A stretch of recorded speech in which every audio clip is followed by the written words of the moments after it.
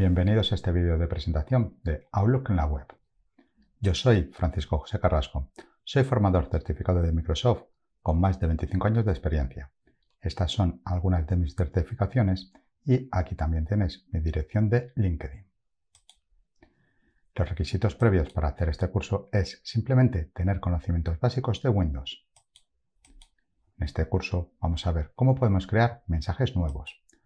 Vamos a ver cómo podemos nosotros configurar Outlook. También vamos a ver cómo podemos organizar la bandeja de entrada, cómo podemos crear grupos y para qué nos sirven. También vamos a ver cómo podemos trabajar con el calendario y también vamos a ver esta herramienta de To Do, que son las antiguas tareas. Hasta aquí este vídeo de Outlook en la web. Espero que te haya gustado. Si quieres seguir aprendiendo más sobre Outlook en la web, haz clic en el botón y accede ahora al curso en Open Webinars.